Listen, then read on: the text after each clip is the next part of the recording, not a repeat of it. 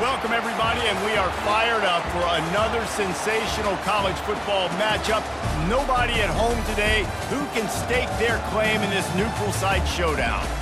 There's nothing quite like wrapping up a regular season with a bowl victory. It just leaves a good taste in your mouth going into the offseason.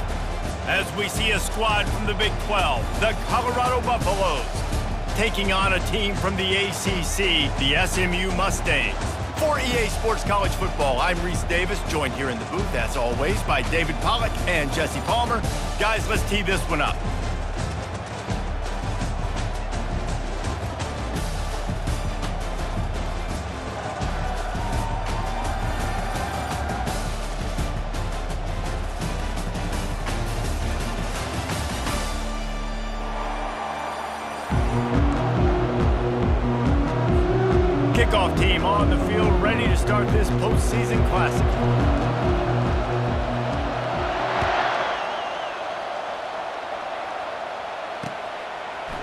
The end zone. Nice job by the kickoff team. Everybody stayed in their lanes, and they'll stop him at the 16. First down here for the offense. Give to the running back. He kept those legs moving, got three out to the 19. Well, guys, bowl season is here. Always fun to get these non-traditional matchups that you don't see regularly. What do you guys remember about playing in a bowl? I think you remember all the moments throughout the season, throughout your career, and then it's the last time that you ever get these group of individuals together. You say goodbye to so many people, and, it, and it's kind of bittersweet, but always fun, Jesse, um, to do to dance with your boys one last time. But another thing, too, I love the swag bags, personally. I love getting the gifts.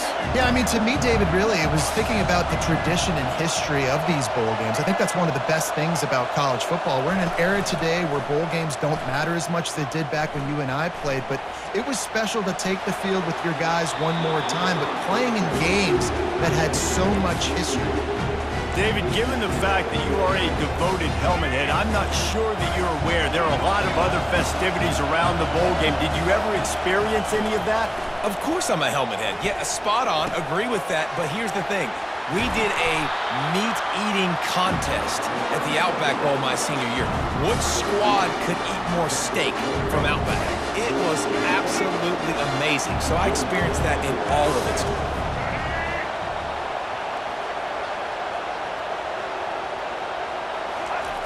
Going up top on first down. Fires to the tight end. They stop him almost immediately. Short gain there and still a little ground covered. Pick up the first. Right on target with that last pass. Now it's second and medium. Wide out in motion. Looking for a man. It's Sanders. Quickly out to the tight end. He is tackled, but it'll be a fresh set of downs. These routes have some reads and adaptability built in, and the big fella found that cushion and made the play. Man, it's so awesome how much offenses have evolved. They know exactly what they're getting, where to sit down, quarterback, tight end, on the same page, gets the first down. First down, physicality in these football games. Being able to run the football and create balance. And, and right here, just chews up another first down, gives you another chance to maybe continue to run the football. And I feel like this guy, too, is just an explosive play waiting to happen. His vision, his quickness, and he's got a burst. If you give this guy just a crease, he's going to hit it. Right now, he's doing some damage on this defense. The Buffaloes trying to get a touchdown on first and goal. They'll try to get it in with the run. He's knocked down in the backfield. He'll lose a couple. How about the defender being a heat-seeking missile? He was on radar lock. He found the football and flew down with some bad intentions. He'll pick up three before he's downed at the six. This has been really good for the defense, too. It's kind of a bend-don't-break mentality, right? Really bowing up with your backs against the wall. If you can win this next third down, try to force the opponent into a field goal. That's a win if you're on defense. And he'll be smacked to the ground. This offense wants to establish an aggressive identity. They'll go for it on fourth down. They'll try to power it in. And he takes it in for the score. Touchdown, Buffs! Hey, man, if we're going to show up here and play this game, we're not kicking field goals early. We didn't come here to just lay up. They drive the field, they get it down fourth and goal. Field goal would have been easy. Head coach decides to go for it. The offense pays off the decision with a touchdown. And he's got the extra point, and it's 7-0 to start this one. They put it in the end zone with a 12-play scoring drive and finished the deal with the short touchdown run from the two. Kickoff team lining up to send this one away.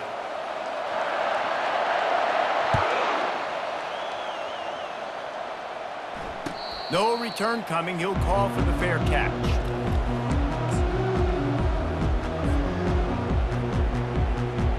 They'll break the seal on this quarter here on first down.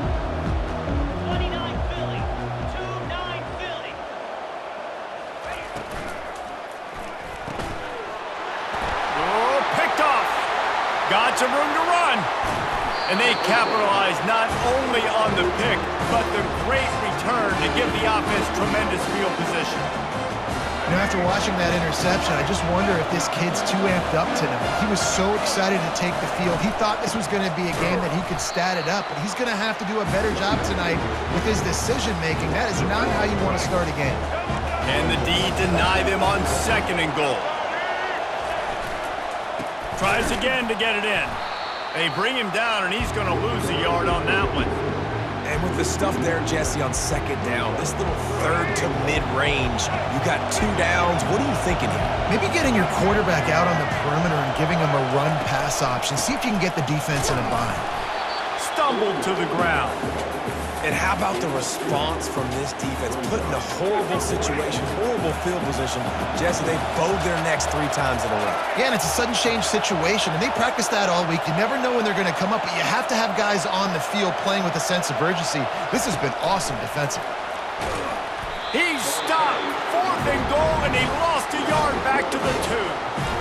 And how about the defense coming up big on fourth and short? you know they're going to run the football. Great job stacking the box, getting the big stop.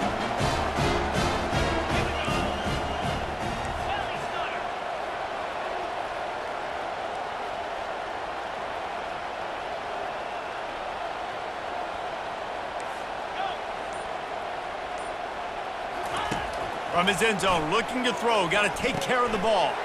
That's caught. It's Bailey. Crosses the 30. He's got away. A huge gain on that one before he ran out of bounds, and he has the first down.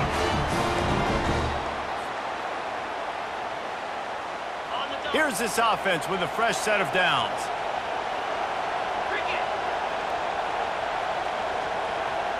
Wide receiver now comes in motion.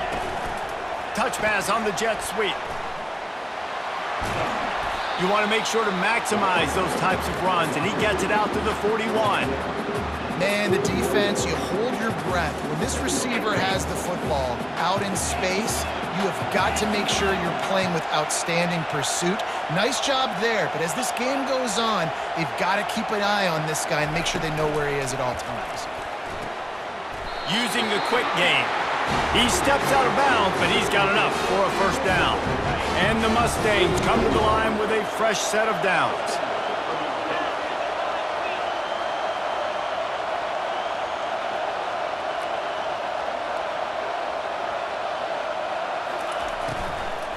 Out of the gun, the inside give. They bring him down, and he's going to lose a yard on that one. Clock's running, and they'll try to get to the line warp speed for second down. Quick completion on the out. And he'll run across the sidelines after the good gain. The Mustangs want to pick up the tempo. Little touch pass to the receiver. He's run out of bounds, but not before turning in a big pickup and moving the sticks for a first down. Here's this offense with a fresh set of downs.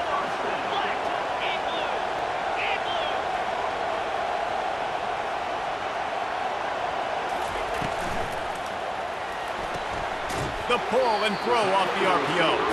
And not much doing there as that defense runs him out of bounds. Picked up some yardage on the ground. Now here comes second down. Fast motion from the offense.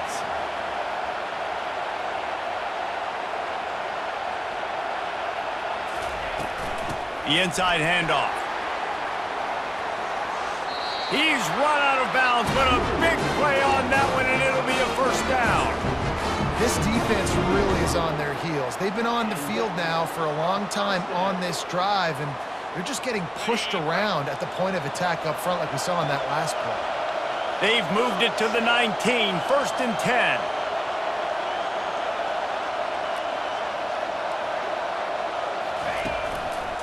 Might as well run him until they stop him. He's got it again.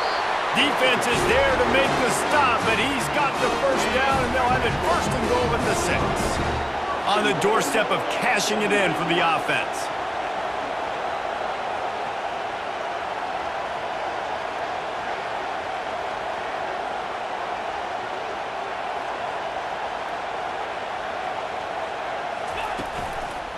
A first down run on the doorstep.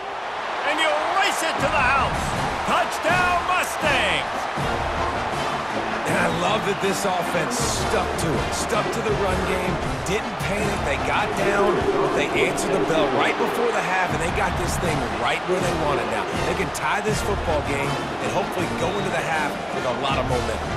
So they got the touchdown, and as they kick off, really important for the defense to shut them down here. He'll take the return and try to improve the field position. Didn't find any crease in that kickoff coverage, and he'll be stopped at the 17.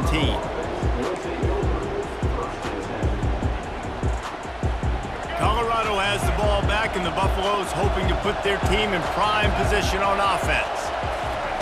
They'll start this drive with a pass. Oh, what a spectacular layout and catch. He threw that one with some serious heat. This senior quarterback doesn't need a lot of space to get it in there. Now on first down from the 28. Use the play fake, now to throw. Unloads it downfield. And that one falls incomplete. They tried to go over the top on first down. Second down coming up. And I know most offensive coaches, they're going to be thrilled taking all these 50-50 shots against man coverage know, though, if they want to keep testing that defensive back. He has been on fire. And it'll be incomplete. This defense is physical in pass deep.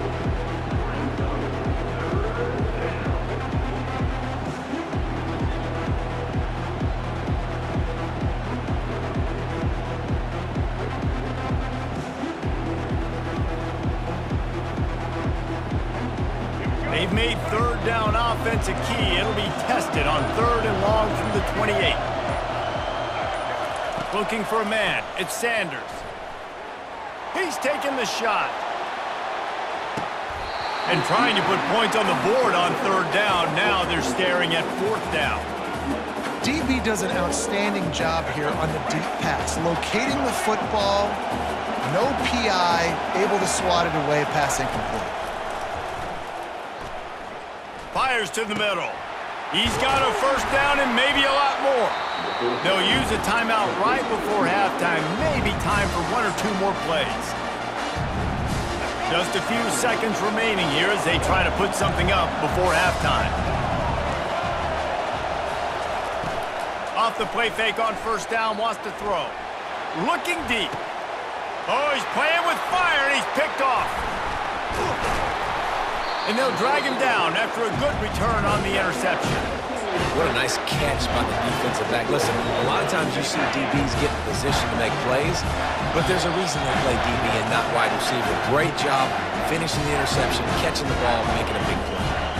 The defense calls the timeout, their second of the day as they try to get their act together. Just enough time for one final play of the half.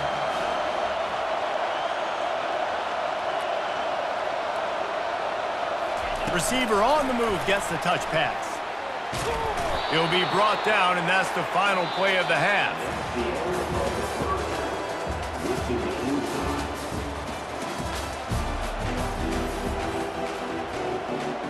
And the Buffaloes will kick it off to start the second half.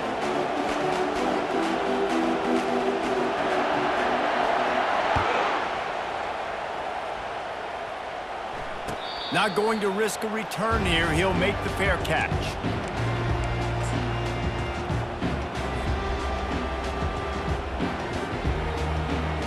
The SMU offense is headed back onto the field.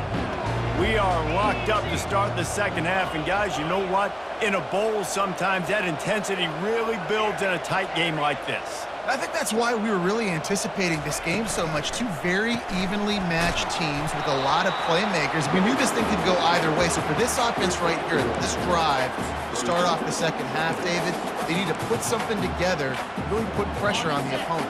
And the thing I like about bowl games, man, is they're exciting. You go for it more on fourth down, less to lose, not as not as uptight. So I look for this second half to be fun, to be wild, to be loose. And he'll step across the sidelines after making a good gain on that one.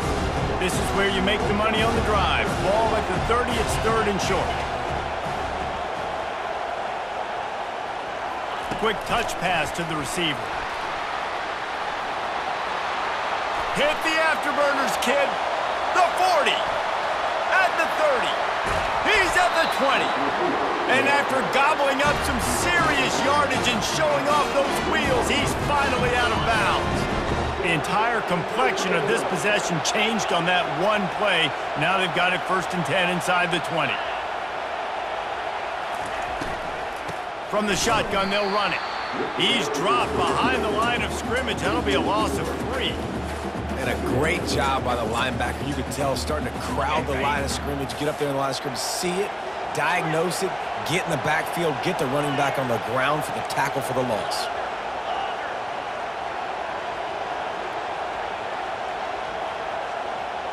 With jet sweep pass. Smashes ahead. They'll get him stopped just short of the end zone, but they're in business here with a first down.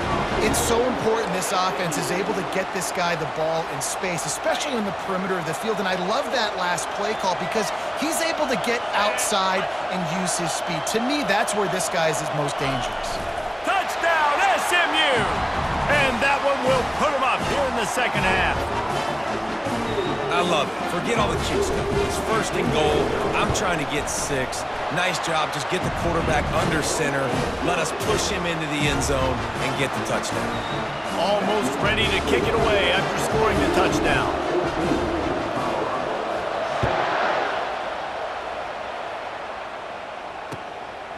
And he'll bring it out of the end zone. He was looking for some running room, but not much to be found as he stopped at the 18. And the Colorado offense is coming back onto the field. Boy, they had that last drive moving a little bit, David, but then the mistake just crushed them. Yeah, and those mistakes are going to happen. You're going to throw the football, you're going to throw interceptions. But I think I stay aggressive with this offense. I get back to what I did in the first part of that drive that made me successful. I agree, David. Just turn the page if you're a quarterback, right? On this drive, you did a lot of good things there leading up to that pick. Forget about it, move on, play the next play. Wide receiver shows motion. Quarterback touch pass on the jet sweep. Really nice stop there from this senior leader. Facing a third down and short from the 26. Dropping back, it's Sanders. And that's incomplete. A defender all over him. Knocked the ball to the ground. Fourth down coming up. Well, after struggling so much in the first half, you thought they would have made some adjustments here at halftime to see if they can open up this passing game. But early on in the second half, they're just not really able to get that done. Incompletion on third down in your own end, you're expecting them to punt. Trying to make magic on the scramble. They finally get him on the ground, but not before he rips off enough for a first down. And the Buffaloes will snap it on first and 10. He'll keep it himself. And he won't quite get there, but boy, after that pickup, just a few inches to go for the first, an array of possibilities here. Time winding down in the quarter as they come to the line. Handoff to the lone back. And he's got enough for a first down. Now to see if they have enough time to snap it again here in the third.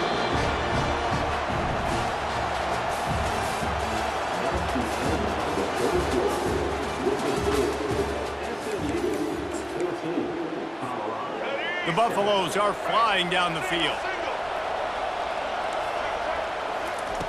Trying to find his man on first down. Excellent coverage and good use of the hands to knock it away. And the incompletion brings up a second down for this offense. He's looking to throw. Floating away. And it'll be incomplete. He got on the move trying to make something happen, but just couldn't find a man. And I tell you what, we've kind of gotten to the point where we expect QBs to be robots and just never to miss and always put it right on the face mask or right on the numbers. And right there, you could tell he just missed a little bit, a little bit off. And I Fires into traffic, intercepted. That's why you love veterans in this defense. They stay locked in on their rules, and he made the pick. Man, and that's a big interception late in this game. And listen, I know you're trying to go vertical with the four verts, but so did the defense. Great job staying deep, playing the football in the air, and forcing the ginormous turnover.